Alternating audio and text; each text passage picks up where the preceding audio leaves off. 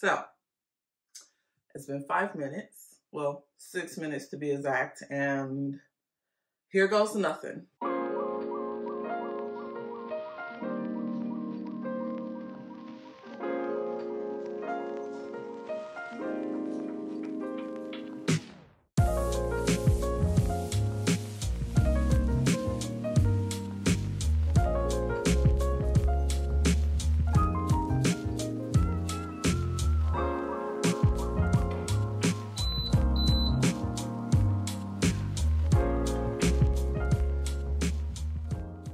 Hello guys, welcome back to another video. I'm Zoid. Make sure you subscribe down below to become a Zoidie and you can be notified of when I post new videos and content ideas as well as inspo. So in today's video, I will be doing a product review. First off, can I just have a round of applause? Because I want to say this is one of my first times that I actually purchased something where it's still pretty much new and I thought it was perfect because the price wasn't too bad and it gave me a chance to put out a video and an honest review before more people try to get it. So this is the Thermal Cinch by We R Makers and it's supposed to be like a thermal heating book binding machine. So I don't know, I just thought like, oh my God, it's still new. It's been out for like what, like a couple months now and it's supposed to come to stores, I think in March. I don't know, look it up and make sure. But I was watching one of those live hobby channels and they were like showing this and that's what they said. So you might have to look into that. But it's not in stores right now, but it's supposed to be coming to stores. I've only been seeing it online. So HSN has one online for $89. Don't know if the price changed. When I checked, that's what it was. And Amazon, I purchased this for $99, which that's where I got it from Amazon. So they have a mint color as well as a pink color. And you know I had to get the pink color because it matches my room. So I'm gonna go ahead, crack this open and do a quick demo, see how to use it, see my thoughts on it. And yeah, let's try this before you buy it. So this is the box right here, first off cute packaging. They never miss with the packaging. So nice. And this is the back of the box, which, you know, just shows what it is or whatever. And then, can I tell y'all something? So, when I first got this, it was in a huge box. I thought this was going to be a huge, heavy machine. It's not. Someone mentioned that it felt cheap so I'm not saying it feels cheap. I don't know yet till I open it. But when I held up this box, actually the first time when I picked it up from the post office, I was shocked. I thought the box was empty. So this is extremely lightweight. And I guess that's probably good because no one wants to carry a heavy machine. But it's also probably easy to put away too. So, I mean, at least it's lightweight, so that's good.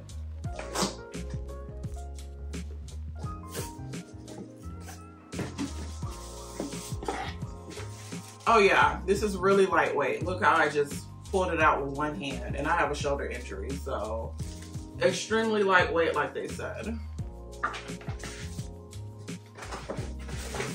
Okay, so here's the contents of the box. So you have the instructions, like the little diagram of how to use it. And then you have, it looks like three spine binders. And then of course you have the machine. Now, I know for certain places, I just forgot where, um, they do come with a bigger bundle with more stuff. I don't know if that's still going on, but I know if you get the pink one, this is all you get. So there you go. You only got a couple chances to get it together.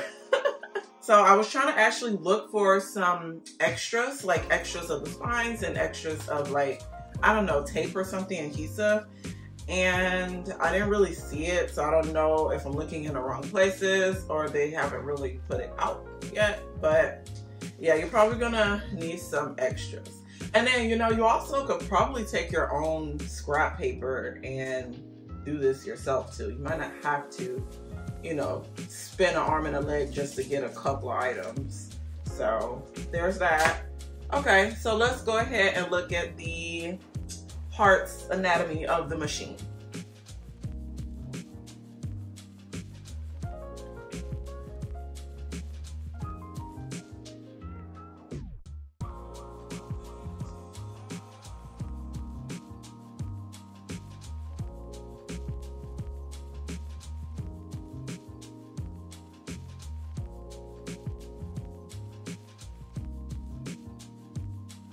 Okay, so now I have the machine plugged in. Let me go ahead and cut it on.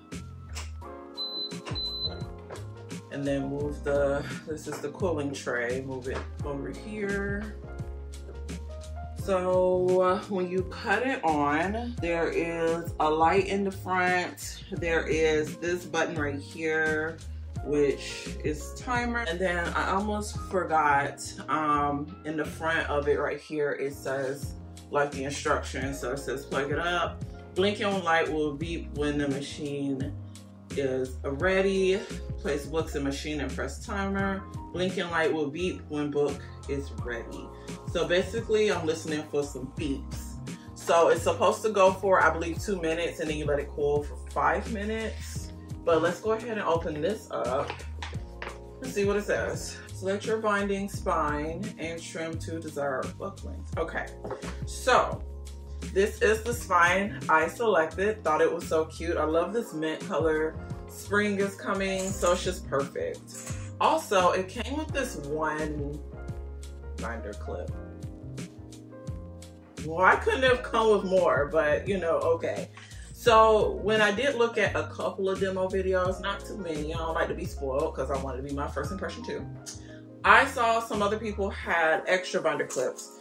So I got me some extra binder clips just in case the one doesn't do. And it's so pretty too. They could have included a couple more. These are cute. I will put them in my planner just cause. And I think the bundle I have, not bundle, but you got ready fast.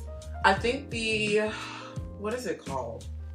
I guess like the package I have is the retro spring. I think they have like different ones you can choose from, but I do think all of them only come with like three. So, okay. So like I said, spring's coming. I thought this would be perfect.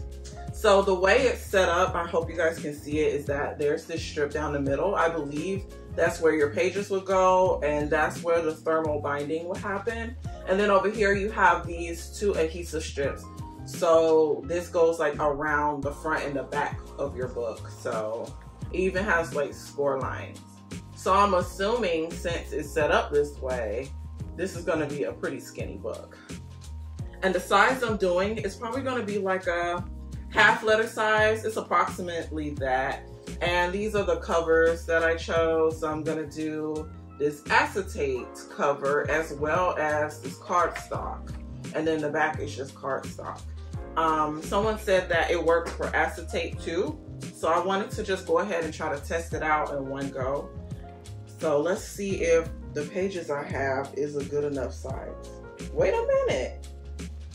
On my first go, I think the pages are already a good enough size. I just grabbed a little pile. Oh look, okay, I think it fit. Yeah, so you'll simply just take your pages and yeah, it just goes right in the middle. Before I do that though, they want me to cut this to fit the book. So I'm gonna go ahead and measure and cut really quickly to get this to fit.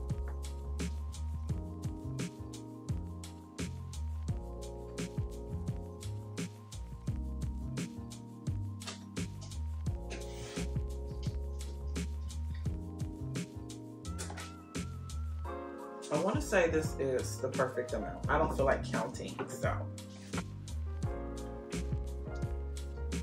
I think I'm gonna hold this together with a binder clip to make adding it easier.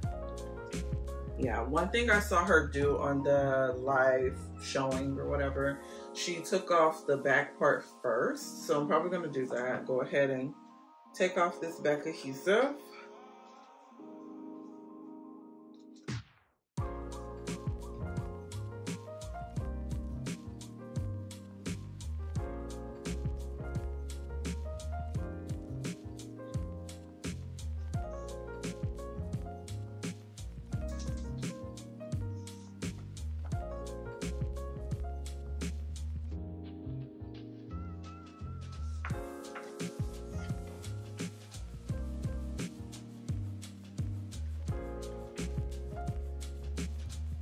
So I attached the book together and I really hope that I did it right because I see a small gap. So I'm like, did I put enough pages?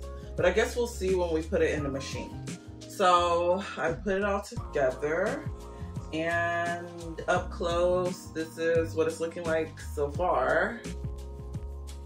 And then number four, insert any accessories by adhering. Okay, so if you want to add bookmarks, ribbons, stuff like that, which I'm not doing. Plug in the machine, flip the power, did all that. The indicator light will stop blinking and beep, which it just did, so it is ready now. Place book in machine and press timer. Okay. And now I'm gonna put it inside.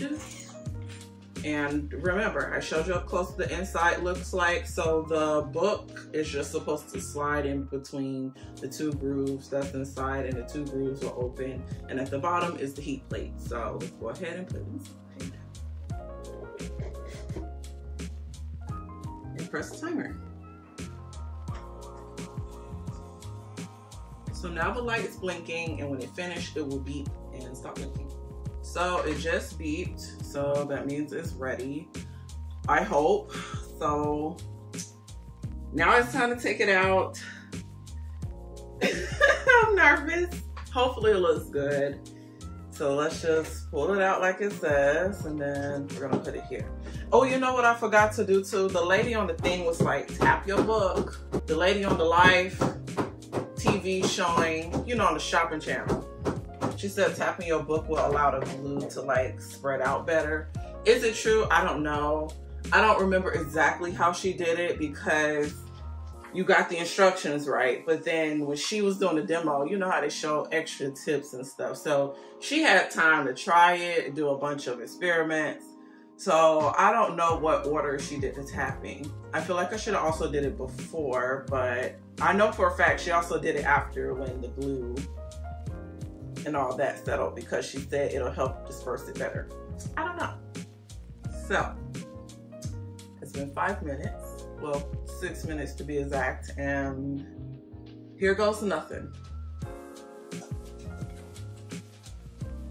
Oh, well, something happened. That's definitely for sure. Let me take these off. It's not perfect, but something happened. And actually, I think they said if it didn't bind right the first time, just put it in there again. But let's see, here's the test. Oh well, it seems like it's bonded together. Yeah, here's the real test. This is how you know if a book is actually really good. Oh, oh! Well, the rest of the page is stuck though. So I probably should have did the tapping thing like before putting it in the machine. But overall, I mean, it did adhere the pages. And it looks really good, actually. I think I need to just get some more practice out of it. Probably go back and look at the live showing or some more videos now that I actually have it and actually get some tips but it didn't do too bad for my first time. Let me actually show you up close because I think what I need to do better next time is add more pages. I didn't add enough pages. It looked like I did, but yeah. So right here, it's a little gap. I hope you guys can see that little hole right there. So yeah, maybe I didn't put enough pages because there's also a gap here.